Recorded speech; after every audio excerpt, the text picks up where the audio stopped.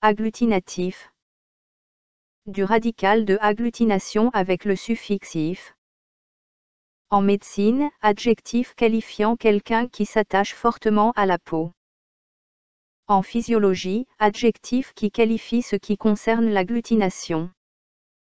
En linguistique, se dit d'une langue qui fait usage des préfixes et suffixes, par opposition aux flexions, caractéristiques des langues inflectives. C'est également un nom commun qui désigne une substance collante. Synonyme, gglutinatif.